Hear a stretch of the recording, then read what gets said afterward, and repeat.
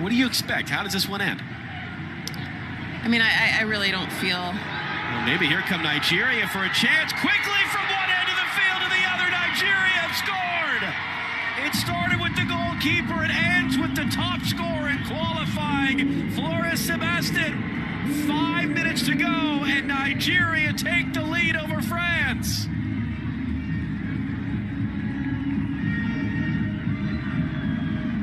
Well, John, just as you ask me how you I think it's going to go, and I say we haven't quite seen the the quality in the final third. We see a perfectly timed ball and timed run by Sebastian. and then it's her composure here.